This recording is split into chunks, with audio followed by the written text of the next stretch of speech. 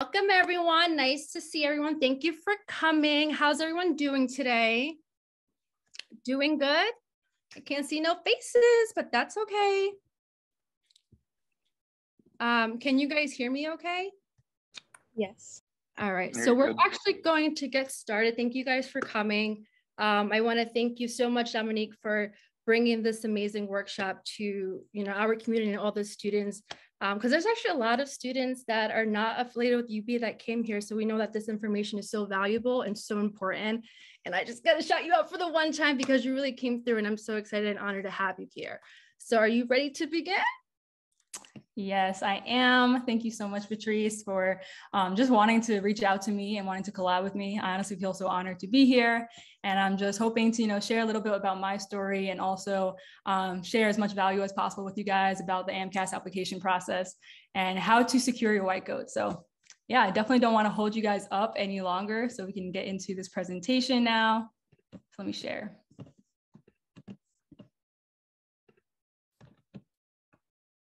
Second. Okay.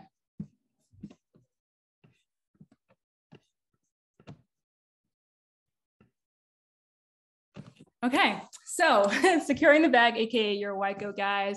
Um, I really just want to share, you know, more about me and how I was able to, you know, secure my dreams of getting the white coat and getting to medical school and soon becoming a, you know, a medical doctor. And I just hope to be able to share as much gems to you guys and how to make your dreams come true as well. So let's get started. So first, I'm going to start out with my personal story. Um, so who, who, am I? I know a lot of you guys come from the graduate um, student health pre, um, pre-health club. So I know some of you may not know who I am at all. Um, some people may be from my Instagram or even my subscribers on YouTube. But I do just want to give you guys as much information as possible about who I am so you have some context. Um, so I am an MS1 at University of Buffalo Jacobs School of Medicine. I'm an NASM certified personal trainer as well. I'm from Long Island, New York, and I attended Pepperdine University in Malibu, California.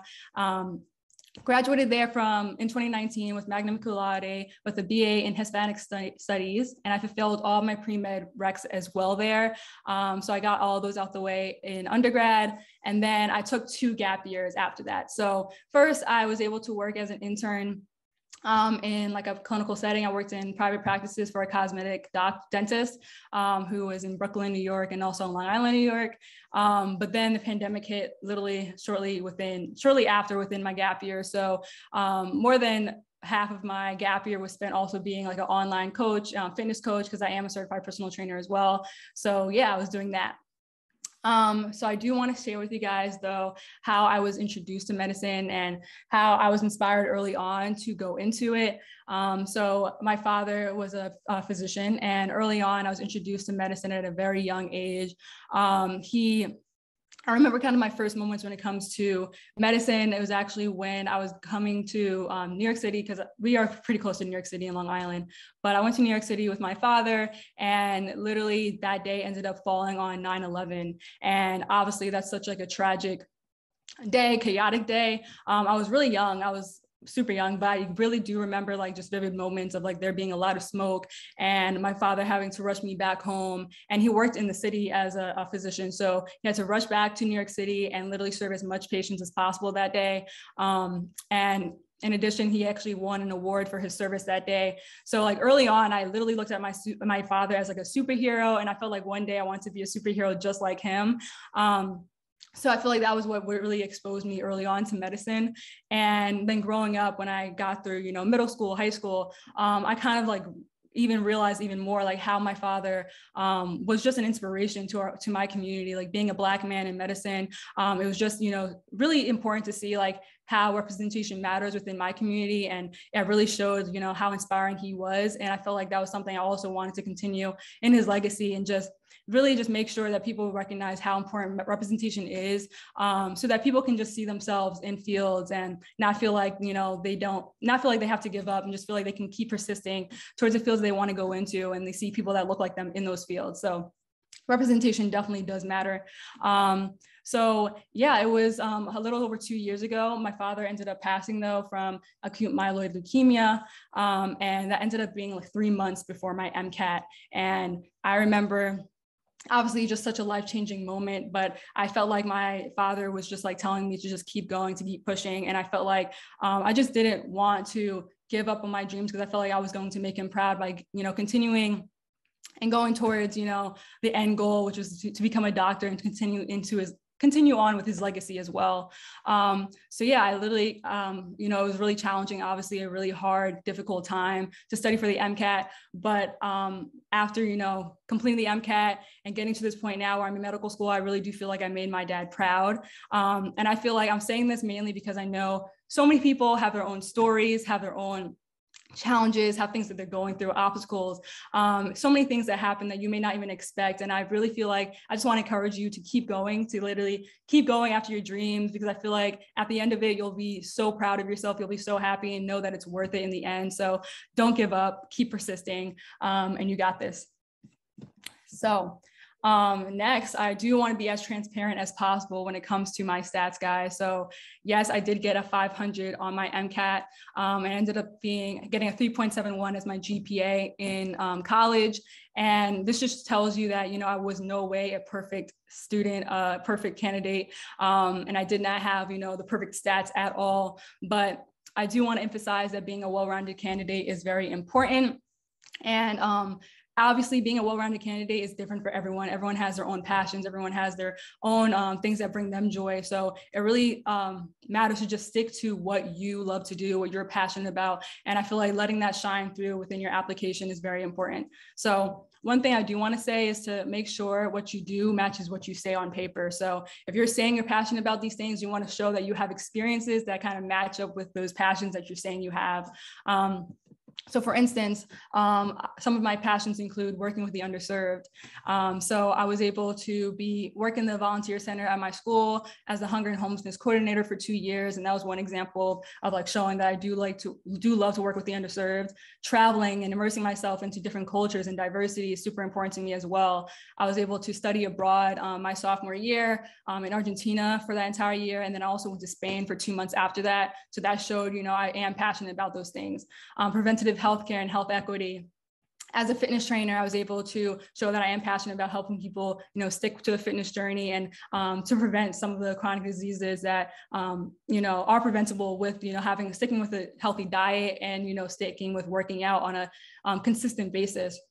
Also, health equity. I was able to um, work with a medical clinic in Argentina when I was there um, with this foundation where they their mission is to eradicate malnutrition. So that is something I also spoke about within my application. Um, so I do want to say though that I also did not have any research experience, guys.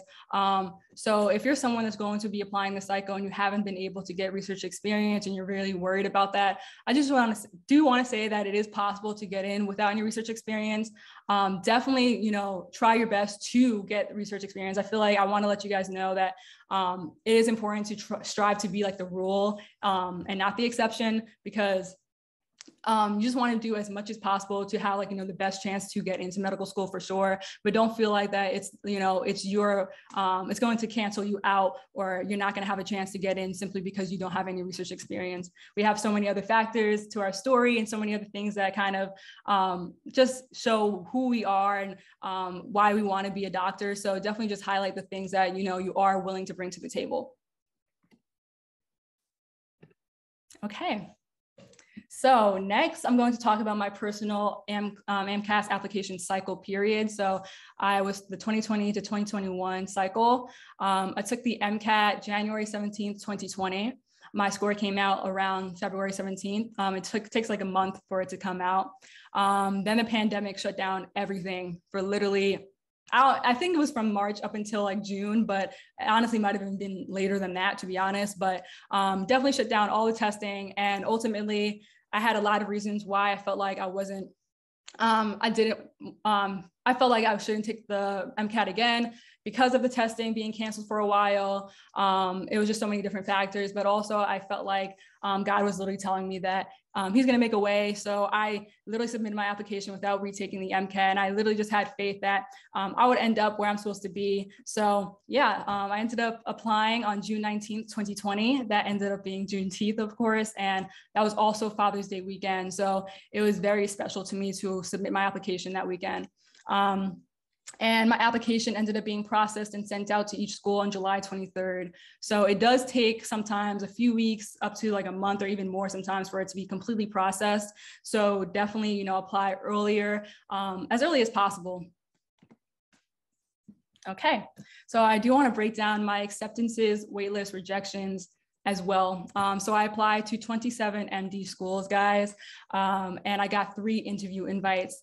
Um, I'm really shedding light on the dates of these interview invites because I feel like so many people um, so many people have different experiences when it comes to their AMCAS application process. And I just wanted to share my process because so many different dates I received interview invites on. Um, so my first interview invite was from Geisinger. I received this on September, September 29th. And I was really happy about this. I was like, wow, it's September. Like this is pretty early on.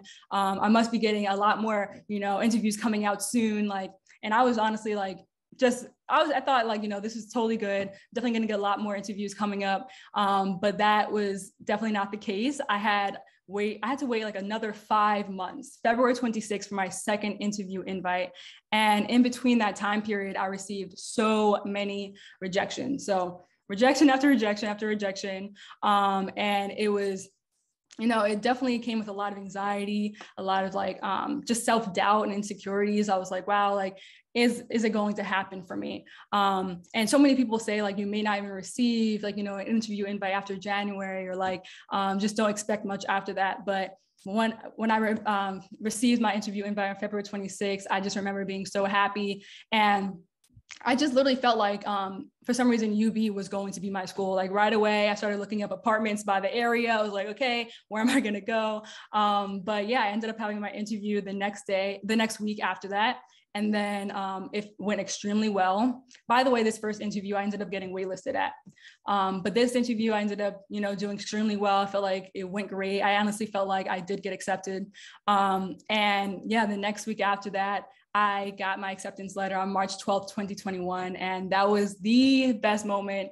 Um, it felt amazing. It was, it really just, I can't, it was such a memorable, memorable moment. I felt so happy. Um, and right away, like I knew I wanted to go there. So um, I withdrew my application from Geisinger because I was still waitlisted. I ended up um, committing to UB. And then I received my third interview invite on May 31st from Meharry Medical College. So that was, you know, not expected at all um, because this is just really, really late in the game. But yeah, I ended up getting three interview invites and I declined that interview from Meharry.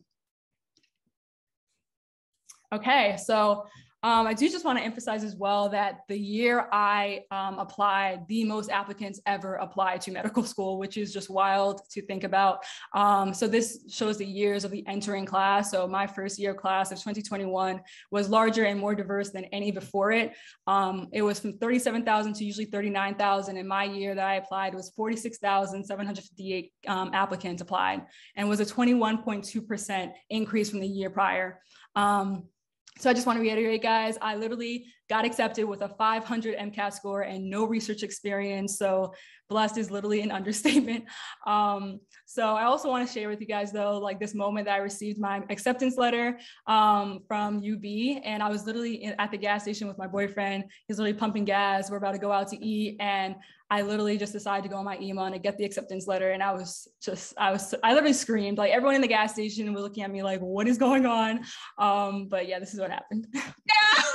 Baby girl got into med school with us. I got into school, yeah. this is crazy. This is crazy. so as you can see, I was very excited. Yeah. Baby girl got into med school with us. I got into school, yeah. this is crazy. This is crazy. Okay, next. Um, so enough about me now. That was my story, but I do want to just give you guys as much value for you all and anyone that's applying this application or even in future application cycles. Um, hopefully this can just be as, you know, very valuable to you and very helpful for your process. So um, yeah, if you're applying this cycle, guys, it opens up on May 4th, 2022, um, and you could submit as early as May 28th. Um, they will start transmitting the medical, uh, transmitting the applications to medical schools as early as June 26th. So it does take a couple weeks to, you know, verify and process your application. Um, and regular deadlines stretch until December. And then if you're applying early decision, the deadline is August 1st. Like I said, though, guys, it's rolling admission. So the earlier you apply, the better. Um, I really say ideally you should complete the application by June, honestly, July, the latest, I would say. But if you have to push it back, that's okay. But I just say the earlier the better because it is rolling admissions and you just want to have like, you know, the, the best chance possible to get into medical school. Okay, so plan ahead and research everything, guys. I really want to emphasize being proactive in this application process. You don't want to be caught off guard by anything. You don't want to be um, shocked by anything coming your way. So really just do as much research as possible when it comes to um, applying to medical school. Um, I personally only apply to MD schools, but do as much research for DO schools, for um, Texas. I think they have Texas is a different application system, Caribbean schools, whether you're applying to a different application system, definitely do as much research on it because I will just be talking about the AMCAS application. So, and even so, like still do more research so you know as much information as possible. All right, so I'm gonna go throughout um, the components of the AMCAS application now. So first, I'm going to talk about letters of recommendation. So um, usually you need to submit at least three letters, and I say it's probably the academic professor, the science professor, um, any other professor, and a supervisor, mentor, or advisor. Um, you can upload up to 10 letters on AMCAS and you can decide which letters you want to send to which school as well. So that's something that you could definitely um, use. And you want to make sure that you enter each writer on the AMCAS and then provide them with the letter of recommendation form so that they can send the letter um, to AMCAS for themselves. Um, obviously, you won't be able to see the letter, so you have to make sure you send them the you give them the letter recommendation form. Um, also, guys, I recommend requesting letters as early as January. Um, this is what I did for the application cycle that I was applying for. Um, I just feel like that really gives your application, your letters, um, letter writers as much time as possible. Like I knew a lot of my um, writers were very, very busy. Either they were doctors or they were professors. And I just felt like, you know, I never know how busy they are. So I just want to give them as much time as possible to work on it. And then I would follow up with them, you know, pretty much like once a month or every couple of weeks just to make sure that, you know, they know that when the deadline is and have everything sorted out by the time I want to apply.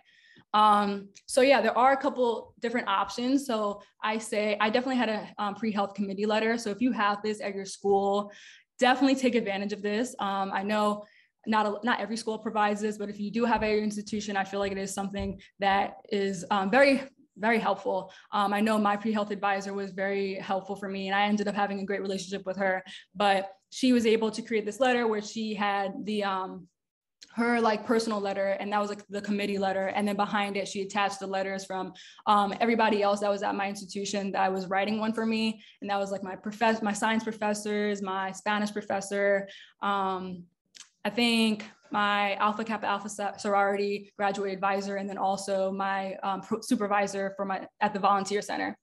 So she compiled all that together and she was able to you know talk more about um, me from her point of view as well. So that was just super cool and then I also um, got an individual letter from my clinical experience within my gap year.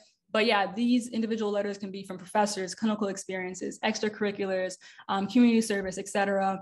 And just make sure you choose your letter wisely because um, they really do matter for sure. And sometimes they even ask you about them during your interview. Okay, so um, experiences section. You want to make sure that um, you definitely work on this early on as well. So I started working on this.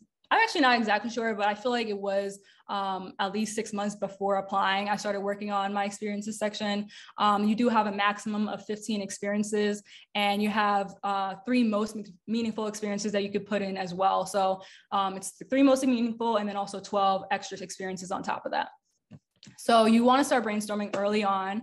Um, be involved in activities that you're actually passionate about. Um, so if you you know show consistency and effort, you can also make sure that you know maybe get like a leadership role in those positions, and also like get a letter of recommendation out of them. Um, so I feel like definitely showing, uh, figuring out what you're passionate about early on is something that's useful.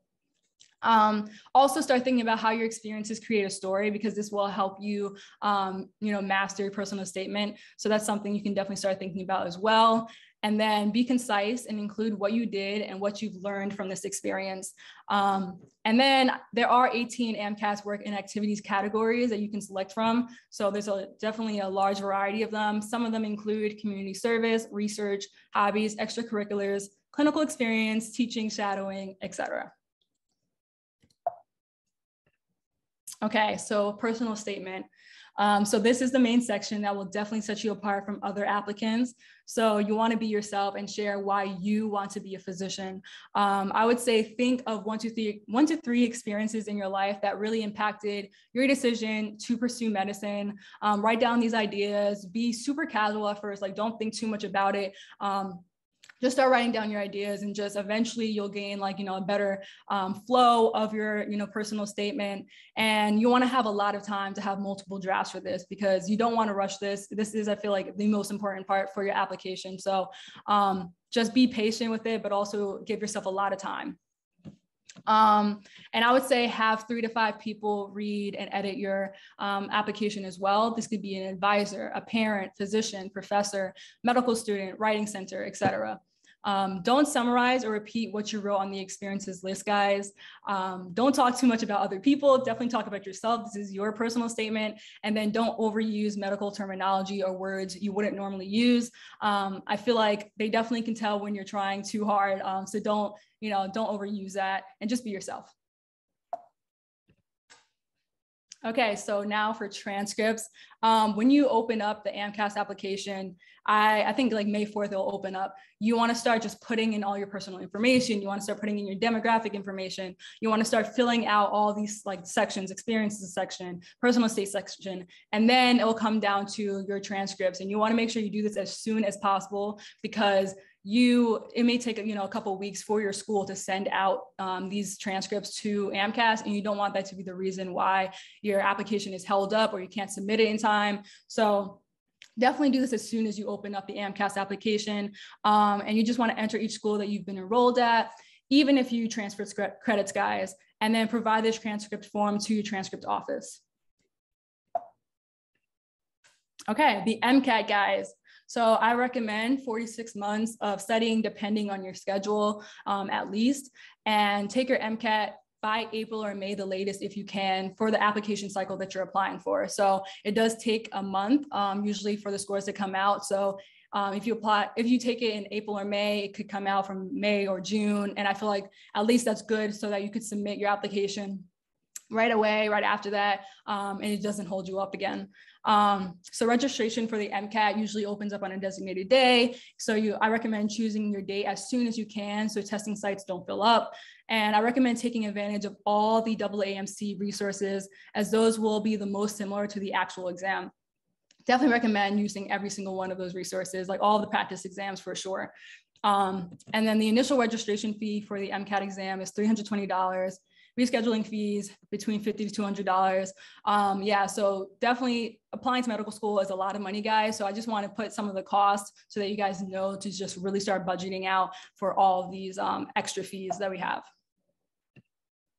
So Casper, not a lot of people know about this Casper exam, um, but it's a situational judgment test. It's a type of psychological test that will present you with realistic hypothetical scenarios and ask what you would do when faced with the particular situation and why.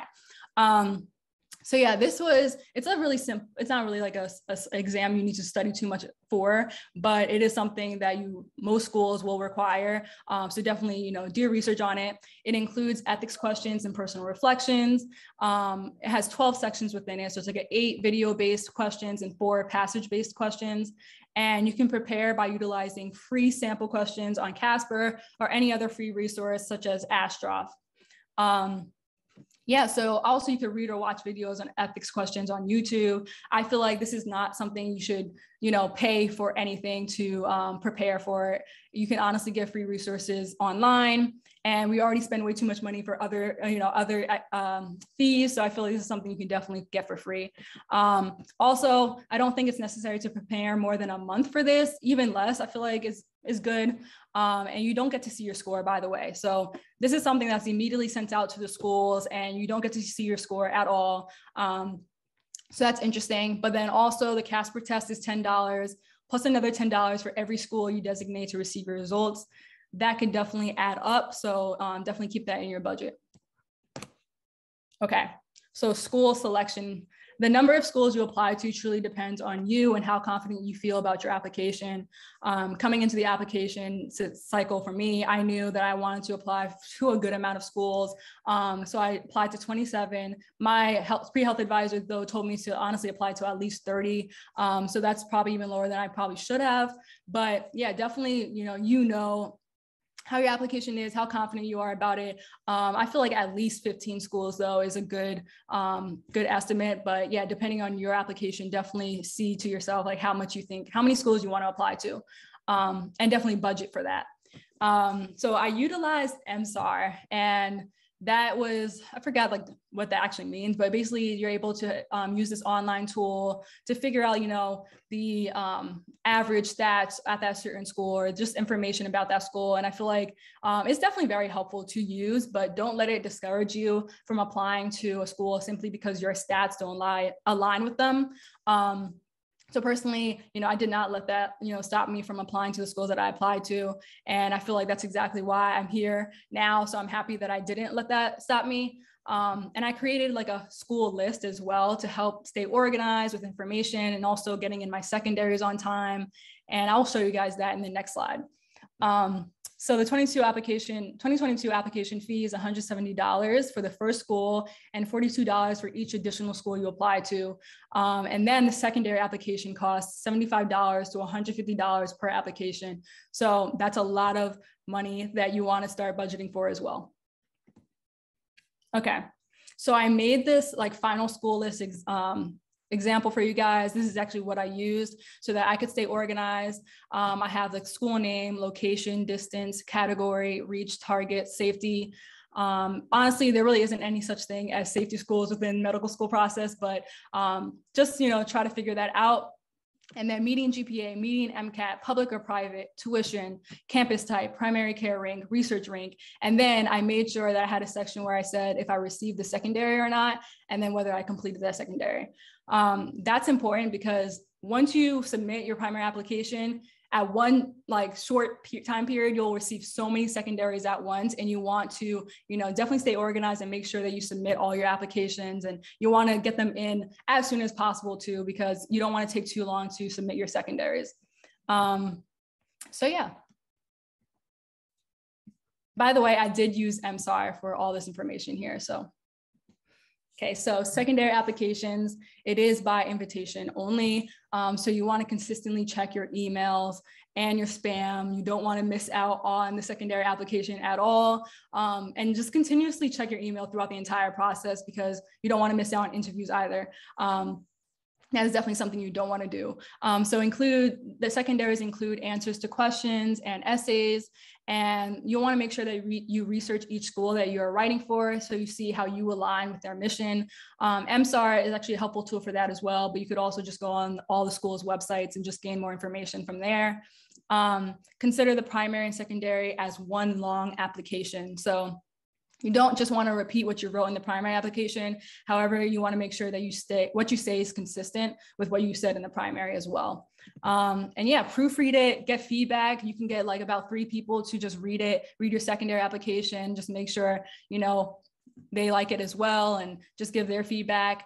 And then the earlier you submit, the better. Once again, and I feel like you should prepare as much as possible for these secondaries as well. So this website, um, prospectivedoctor.com, that's what I use to make sure I knew all the different prompts that the schools usually give out for secondaries.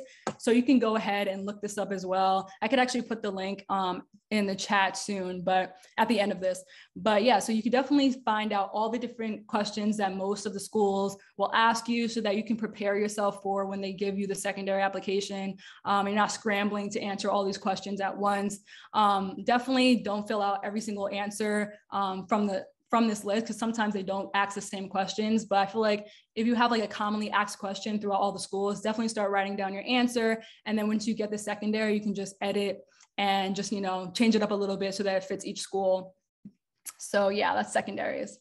All right, so you did the primaries, guys, you did the secondaries, and that's probably the biggest part of it all. Now you're literally just waiting for interviews and you're in interview season. Um, this is, you know, the last hurdle before becoming a medical student and then getting closer to that dream of becoming a doctor. So this is something that's still super important though. So you want to prepare as much as possible for this. Um, and I don't think I have to say this, but you want to be genuine and authentic during your interviews. Um, personally, I used the medical school interview. Um, this it was like this little book. It wasn't long at all, and it just gave you like more information on how to prepare on this. It's not something like you honestly need, but I felt like it was definitely helpful. So if you want to look into it, you can.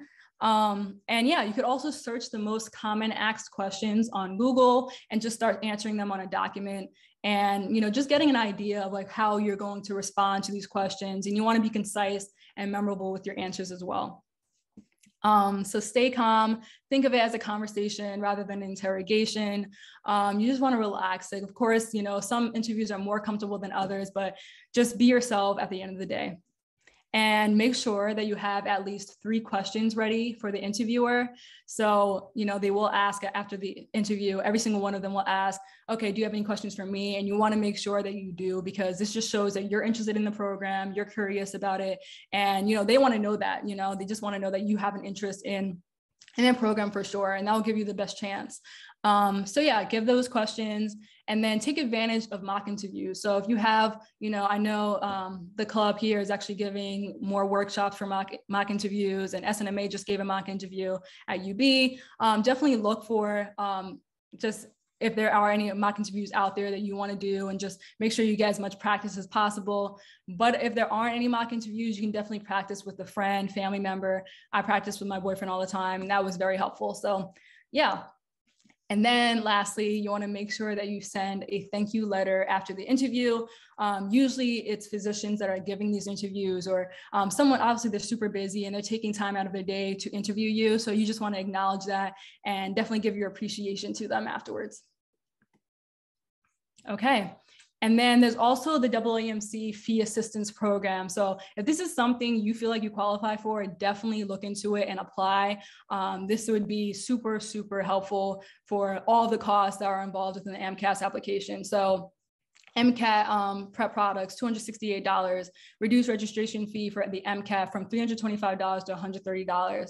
Um, you get the two-year subscription to the MSAR that I was talking about, and that's a $36 value. Um, waiver for all the AMCAS fees when it comes to the 20 medical schools um, that you're applying to, and that's a $968 value. And then waiver for the AAMC preview professional readiness ex exam. I actually personally don't know about this. This may be something new that may be something you guys have to um, think about for your AMCAS cycle, but definitely look into this and do your research because this may be another exam that's needed. Um, and that's apparently $100. Okay. Next, I'm gonna go in, um, go throughout my personal AMCAS application for you guys, just so you guys know exactly, you know, how it looks and just so you have an idea of how the breakdown is. Okay, so um, I once again submitted on June 19th and I received, I, I got a process on July 23rd. So yeah, double AMC ID, school ID, your name, date of birth, legal residence, your contact information, your biographic information. Um, yeah, gender, um, whether you're in the military service, um, so next you have your language information here. So um, Spanish, I'm advanced, English, native speaker, um, always spoken in the home. Um, you also talk about your childhood information, so your primary childhood residence, and then whether you're underserved, your family income level, number in household, um, all this information right here. They also make sure that you give a breakdown of your scholarships and your loans and your grants within undergrad or any um, graduate school. So yeah, that's something you have to put in. And then they also have the disadvantaged information section. So if you definitely are disadvantaged, definitely for sure fill this out. You'll just give like a paragraph, um, I believe, on um, just explaining um, that as well. So then you have your parents and guardians here, um, my mom, my dad, and yeah. So next, um, they also have the socioeconomic status disadvantaged, first generation, I'm not, um, siblings, my brother, um, he's 26 at the time, and then additional application information. So um, all this right here. And then we go into our stats, guys. So we have our academic record here. Um, so yeah, I went to Pepperdine University, as I said. Here's just a breakdown of all of my grades, all of the courses I took. And you literally have to input all of your grades manually as well. Like every single course and grades um, throughout the entire through the AMCAS application, and then you also have to submit this um, the transcript so they can, you know, look at both. Um, so yeah, I have my first semester. I also was able to come in with uh, 16 credits from um, from under no from high school. I took AP classes, so I was able to use those credits as well in college.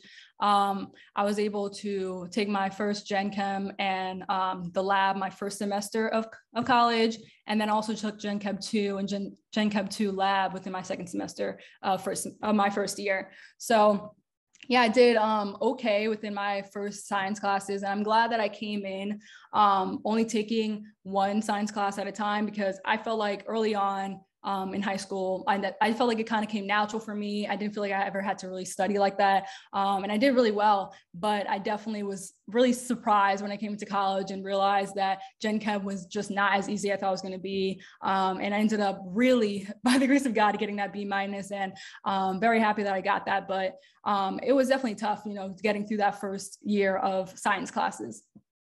Um, and the rest I took, you know, my liberal arts courses that we had to take, and then Spanish as well. Um, yeah, I took, I ended up going abroad, like I said earlier. I went to Argentina, and I was really nervous about how it would look to um, the admissions committees if I took an entire year off from science courses, because usually they don't, you know, give any science courses abroad.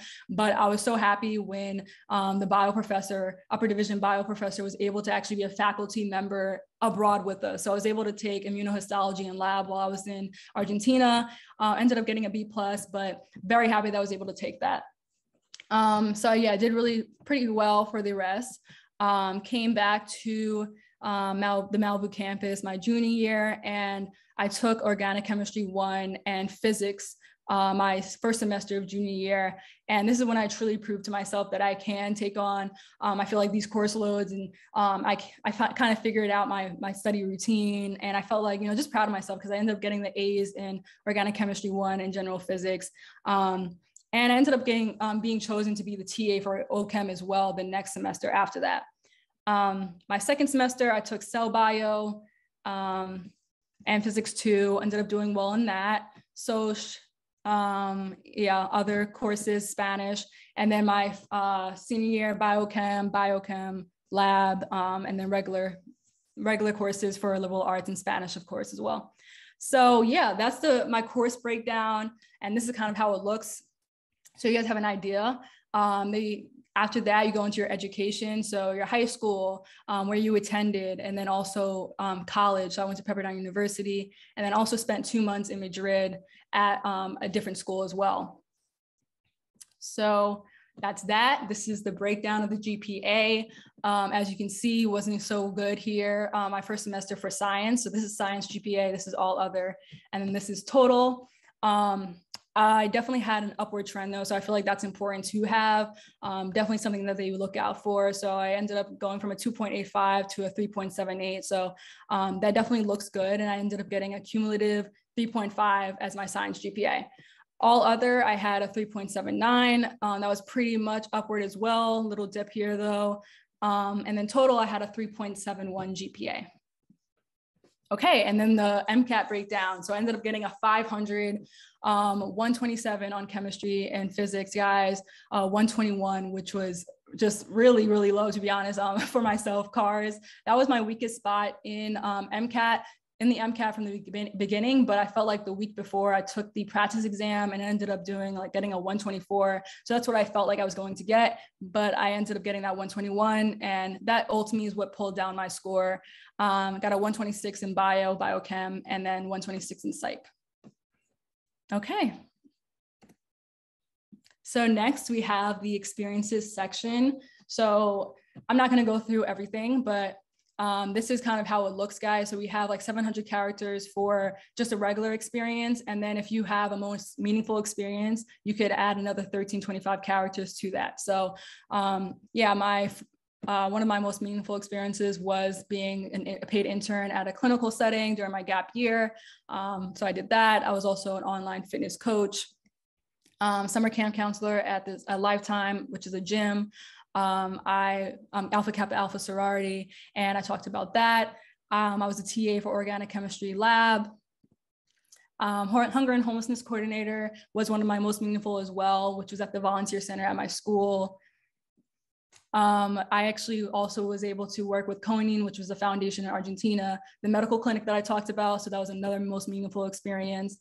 And um, I talked about studying abroad for an entire 10 months, um, Argentina and then Spain. I also had talked about my Mercy Medical Center um, volunteering there. So that was a hospital. Um, I was a Project Serve volunteer, and that was um, like this program that we have at my school where you can go um, serve at um, you know different programs around the world and um, just be a volunteer. And I did that twice. Um, I talked about shadowing. I was the vice president of the Women's Club lacrosse team. So I talked about that. College connection leader. I was basically a mentor for um, students or high school students in low income neighborhoods. Um, so that was another experience. I was also, um, I also attended this National Youth Leadership Forum, which is careers in medicine. And they basically just talked about, you know, what it is like to um, be a physician or just any other career in medicine. So talked about that. And then also my Nicaragua mission trip. So yeah, those were all my experiences. Um, this is all recorded and I believe this will actually be posted on my YouTube. So if you guys want to look back, um, you guys can for sure. But these are my personal my personal statement. And I do have as much information about my experiences and personal statement as well on my YouTube, which I'll provide at the end. But yeah, this is my entire personal statement. And then after that, we have our letters of recommendation and did a committee letter. I also have another individual letter and then the schools. So that's exactly how the entire application looks. And I want to just let you guys know that you guys can do this for sure. Um, I'm willing to answer any questions right now as well. But if you guys have any questions, you know, in the future, you can subscribe to my channel. I do post a lot about pre-med life, but also, you know, my journey in medical school. Um, and you could also ask me questions via my Instagram as well. Thank you so much, Dominique. That was amazing. I'm just and I, I, apologize. My name is Beatrice. I'm the founder and um, president of this organization. So I didn't, you know, introduce myself because I was trying to get into the motion. But I want to say thank you so much. You're the reason why I created this club because to show people that we can be a doctor. You know what I mean? And, and being transparent in this field is something that lacks. So uh-huh. we love your transparency. And again, believe in yourself. If she can do it, anyone can do it. If I can do it, anyone can do it yeah. um, just have that confidence continue to do what you got to do and, and and don't let no one you know tell you anything. Um, we're gonna oh, i did um, put her uh, youtube stuff in the chat box. We're gonna supply more information afterwards but let's open up to q&a let's hear what let's see what you got. Are you welcome elizabeth anytime girl Hi, Tyler. How are you? It's the support for me. I just gotta shout you up for the one time. I literally can't. You can okay. So does anybody have questions in the chat? Let me see. So what do you think made you stand out as an applicant? Um, yeah. So I feel like what's made me stand out the most i feel like was um, just my passion for working with well the underserved but also working with diverse cultures. Um, i did study abroad for a year um, or 10 months at least and that was just an amazing experience and i was able to talk more about that and my passion um, for that. And also I was a Spanish major, and I feel like that's something I really find um, is my passion still to be completely bilingual, so that I can, you know, break cultural barriers and language barriers in the future for my patients as well. So I feel like working with the underserved, but also just, um, you know, being a, I guess, well-rounded and just doing doing what brings me brings me passion is. I feel like that just shines through your application. Just making sure that you are doing something that you're actually passionate about. Period. Thank you for that. Um, someone asked, can you tell us about your specific interview? Um, yeah, so let me think. Um, I know that my first interview was with Geisinger and it went well, but I still felt like that was, since it was my first interview, I was kind of like, you know, nervous. Um, and I felt like I was just like, a little little bit antsy for that interview.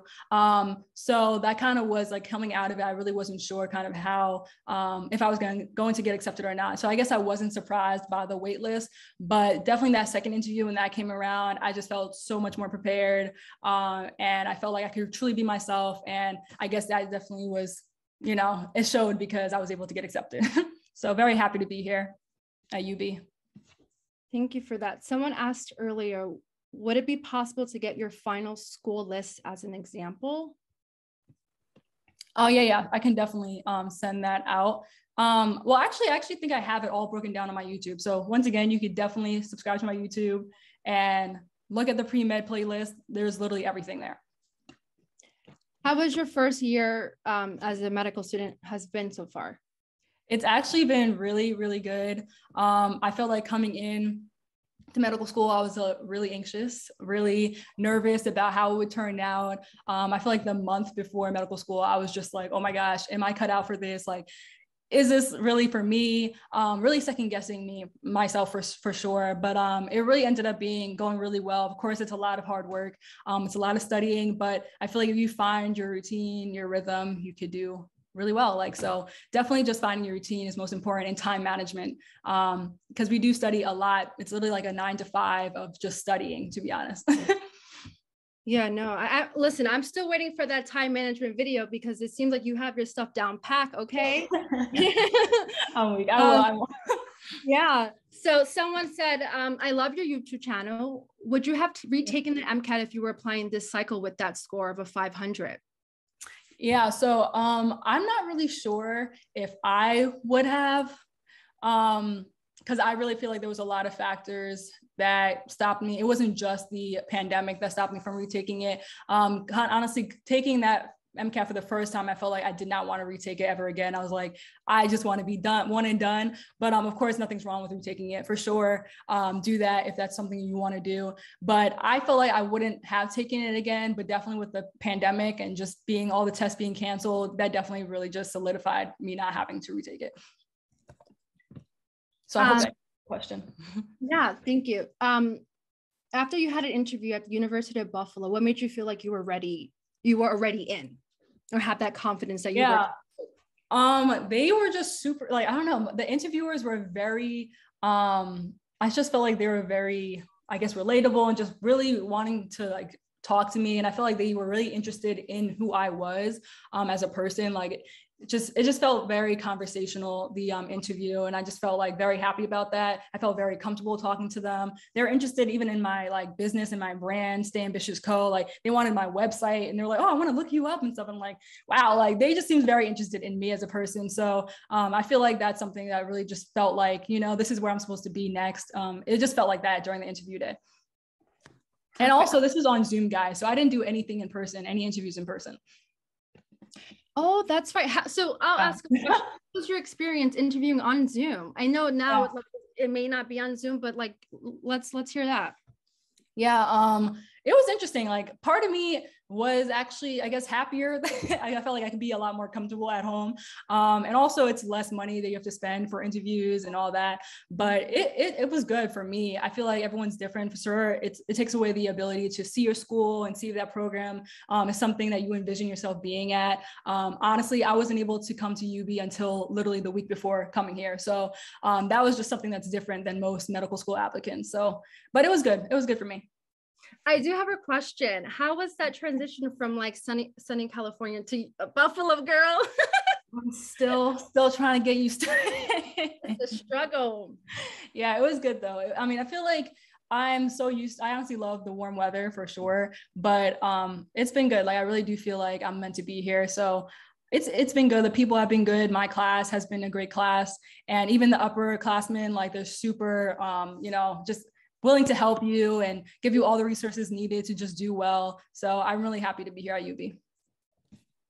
Perfect. Um, in hindsight, is there anything you would change about your application cycle? Hmm. Anything I would change? I don't think so. I feel like I don't regret anything. Um, I don't think I would change anything. I think it, it ended up being exactly how it was supposed to be. Yeah, can't change God's plan, right? It yeah. was meant to be meant to be.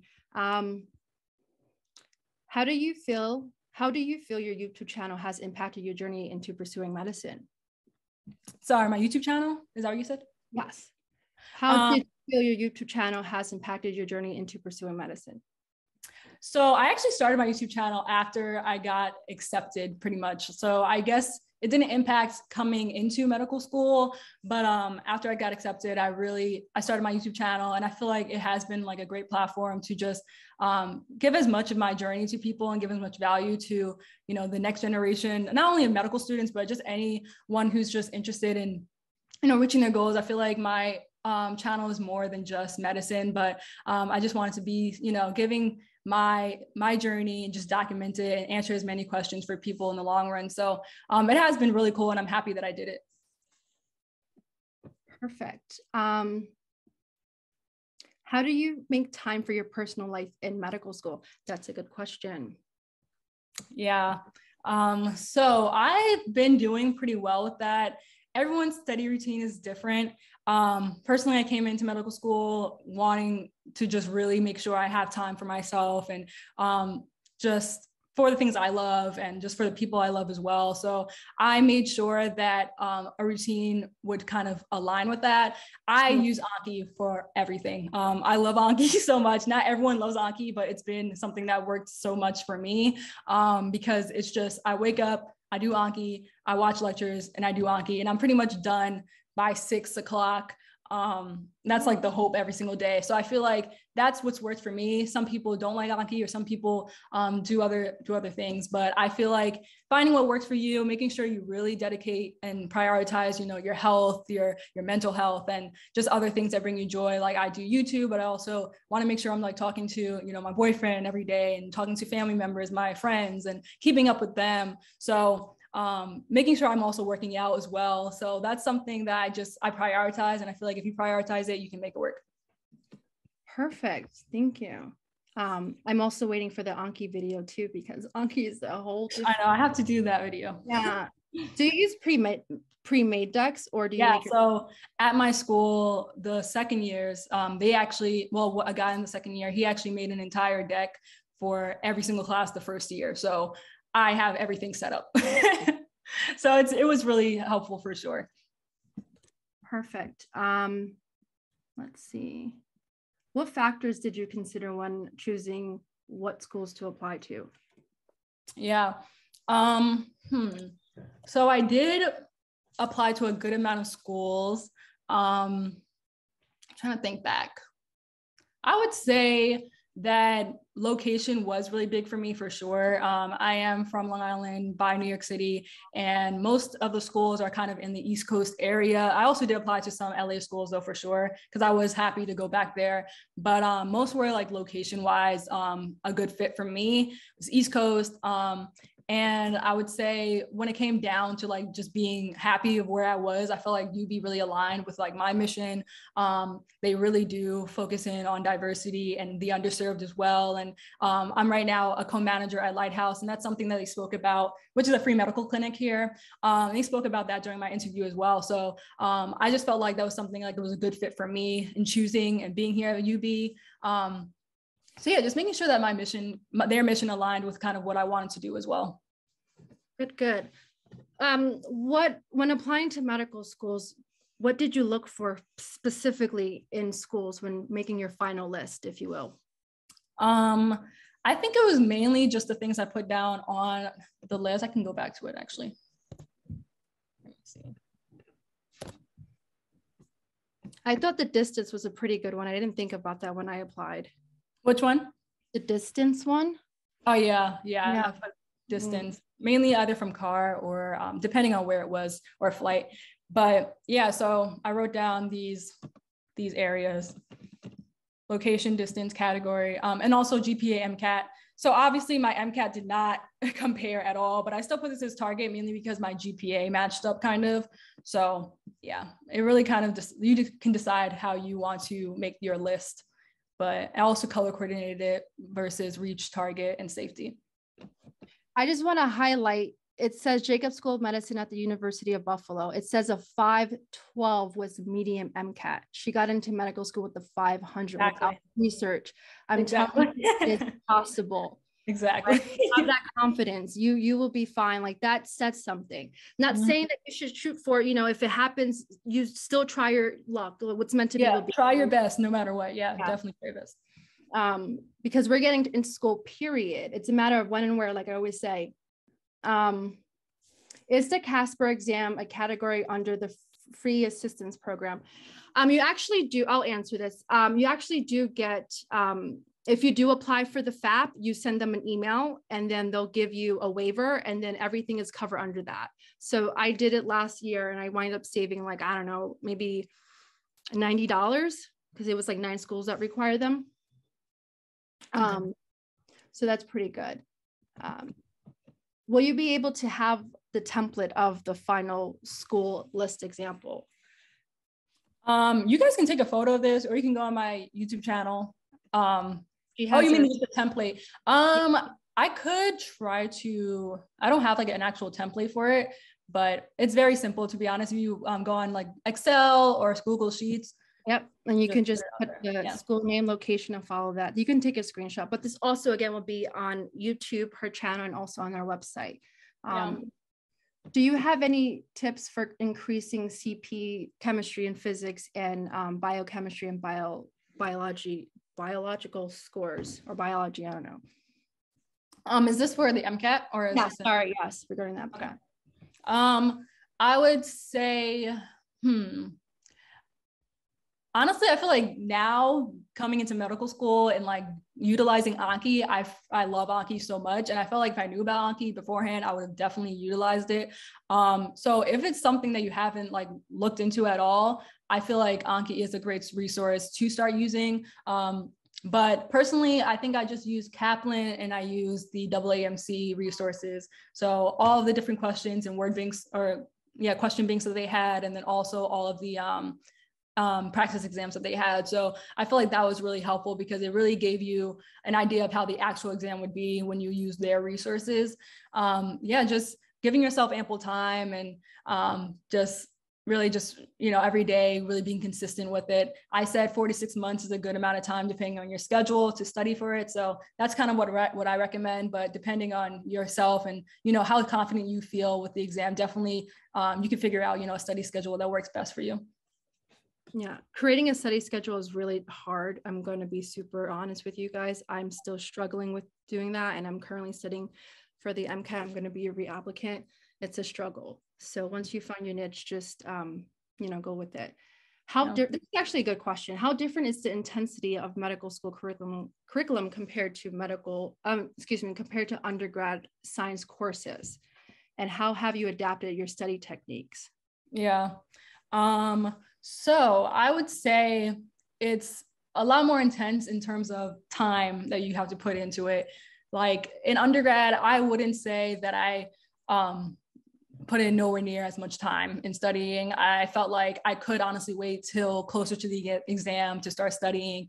Um, so I felt like it really is totally different in terms of the amount of time you put in but i feel like if you have like a routine that you're consistent with it's very very doable um, because you know with medical school i have that routine pretty much pretty much eight hours a day. Um, I'm either watching lectures and studying. Um, so that's kind of like just what works. And I'm doing that. And it's a lot more time, but I feel like it's definitely worked and I've been doing well in, in classes. So it really just depends. Um, I say no matter what with medical school, though, you have to be on top of it. Like you cannot slack. You can't try to just finish, you know, start things, you know, closer to the exam. It's not something you can do in, in medical school, but very doable. Good, thank you. Um, when would you take the Casper? After your primary is submitted? Question. Yeah, I took it after. I took it after. Um, you can take it, I think, I think like right after I submitted it, that's when I started taking, um, or at least like a, I think I took like a month or like a couple weeks just to prepare for it. But then um, I took it right after that. It really doesn't take long to get that. And I don't think that stops you from being able to submit at all. So um, yeah, you can definitely do that either after or or even before. It's really up to you. Okay. This question is um, from Musa. It says, okay, this is for me, sorry. Um, since you're a reapplicant, what do you think will be different from the first time you applied? Um, quite a bit. I can actually email you. Um, you send me your email and we can chat and I have no problem talking to you about that. But essentially a little background, not trying to take the spotlight or anything. Um, I, depending on where I'm going to be applying to, will be if I'm considered a reapplicant. I had to withdraw my applications because I did not get my um, my MCAT accommodations for my learning disabilities in time. So I had to kind of push it back. I did spend money, obviously. I did get the I did get the fee assistance um, program, but um, you know it is what it is. And honestly, I am so proud uh, that it happened that way because I can actually enjoy the process. I worked my behind off to get to where I am today and actually not feeling like I'm stressed out trying to apply and everything, but just really enjoying and uh, basking in my success. It's just yeah. a beautiful moment. And I'm so happy. I wouldn't change a thing, um, even with the money that I spent, because girl, that was a lot of money, but it is what it is. Everything happens for a reason. So please email me um, or send me a DM, I guess, and then we can kind of go from there. I have no problem. Um, I agree. When it it. does feel a lot better when you have time to really just enjoy the process and you know take your time with all the you know the sections of the AMCAS application. So yeah, that was definitely something I enjoyed. I mean, I, I wouldn't say I enjoyed, but it was definitely great. right? yeah. Really enjoyed applying. A lot better. um, all right. I think if you guys have any other questions, let us know. But this is, I think it's the last question. And I think I have one as well. But it says, when studying for the MCAT, did you mostly did you mostly content review or practice questions and exams? Um, I definitely did content review. I would say this is it's interesting because I feel like this was such a long time ago now, but um, I definitely did content review, and then I would say a month and two months or a month and a half before the exam, is I really just was doing a lot of the AAMC resources, all those questions, um, and then all the um, practice exams. So I was taking a practice exam every single week before my MCAT. So I think there's four practice exams on there. Wow, wow, wow. Okay. Yeah. Did you actually, you know how um, before you take the MCAT, they kind of say, look at your score first. Were you surprised when you got your MCAT score back? Yeah, yeah, I was. so I literally, my, the, and the AAMC practice exams were very similar to um, it honestly was it was very similar to the like the breakdown of how the ex- actual exam is. But i was like the week before i got a 506 on my practice exam. So i felt like a lot prepared a lot more prepared. I was like okay i'm gonna do good. Um, so yeah i was very surprised by my 500 but you know it is what it is and i'm still here so. Period. Um, real quick, do you know if UB School of Medicine prefers in-school state applicants since it's a public school? Yes, they actually um, do respectfully. Um, when I applied last cycle, I think from the MSAR, from what I've seen, um, so this was probably maybe 2019, I think, they actually had, um, they accepted their class, their first class was 80% in state. Yeah, so they do prefer, yeah. Yeah, 20 they do accept, they do accept that for sure. Do not allow that to stop you. Hello, we're yeah. getting into medical school. You know what I mean? So mm-hmm. um, Elizabeth said, I love your YouTube channel between you. And it was so nice seeing you in real time. Yes, it is really nice seeing you. I actually um, met Dominique, if you will, on from YouTube. I was, you know, applying to medical school last uh, summer and um, you know, my accommodations didn't come in. I'm like, oh my gosh, should I take this MCAT? I wasn't sure. I'm like, you know, let me just, you know, pray to God. Let me just get a 500. And I literally typed in 500 on a YouTube and her video popped up. and um, recently I was like, I saw a photo of her. I'm like, wait, I know her and I couldn't pinpoint it. And I finally realized like, oh my God, that's so crazy. So again, it's just, it's wild and look like, you know, mm-hmm. impacting you guys too. So it's very, it's very, very, very nice. I do have a question because I think this is something that um, many people kind of are wary of or just you know they're just unsure. How does how can you manage your relationship while in medical school? Do you think that's attainable? Yeah my boyfriend's on the call actually but i definitely I, like- your two cents too. Chime in. How has it been from that perspective as well? Tyler. Um, i don't want to take but i mean she's handled being really being in a relationship like amazingly. I can't can't describe it. I didn't think like I didn't I didn't really know what to expect. When mm-hmm. I think school, I think, okay, yeah, I'm great. I'm never gonna be able to talk to her again. But she does a job with handling school, excelling in school, and then being able to talk and communicate with me. So being yeah. long distance now, this is I couldn't ask for anything. Yeah. Wow, that's amazing. But, yeah, I definitely feel like I have been able to manage it well. Um, we talk every single day, and even throughout the day, sometimes like while I'm doing Anki, I'll just have him like there, or um, because he works at like an office as well, so he can like literally have his FaceTime there as well. So it has been working um, very well for us, and that makes me happy because that was something I was definitely concerned about as well. But it's been it's been good. Everyone's saying y'all so cute. But I just wanted to take a quick Snapchat really quick with you guys, if you don't mind. Ready? Say cheese, Tyler. okay. Um, we're gonna if you guys have any questions, let us know. Going once, yeah. going twice. Please scan this. Um, we're gonna send this information afterwards, but please scan this um, so you can watch her YouTube. She has an amazing uh, pre-med playlist, but you can also follow her journey on um through medical school. Hello, it's not going to stop here and through residency mm-hmm. and keep going because what we're doing is we're inspiring our community because we're going to be doctors period. period period. Um, everyone is saying it's great it's okay to dm you on insta. Yes it is you yes, can DM her. We will give you the information stay dot ambitious underscore and then ambitious stay ambitious dot co. Am i getting this right? Sorry. yeah stay ambitious dot co is my brand instagram yeah, yeah. please follow her that there as well if you guys have any questions, let us know. If not, we're going to end this. Everyone Thank you guys. Thank you so much. Really helpful and inspiring info. I appreciate your transparency. We're actually going to have a, a, workshop next month, a personal statement. So you may see her again. Who knows? We'll see. um, but yes, uh, yes, I'm proud of you. Thank you. That was from Michelle. So Aww. I guess that's it, right, Dominique? Do you have anything else to add? Um, that is it. I really am thankful to be here. I hope I was able to give, you know, good give value to you guys. And thank you for joining. And I'm giving you guys the best of luck for all of your applications and future um, just accomplishments in the future for sure. All right, guys, don't give up on your dreams. Continue to chase them. You're going to be doctors. I'll see you guys later. Bye, Dominique. Thank you so much. And Bye. Uh, Tyler. Thank you. Yeah. No problem. Thank you. Thank you.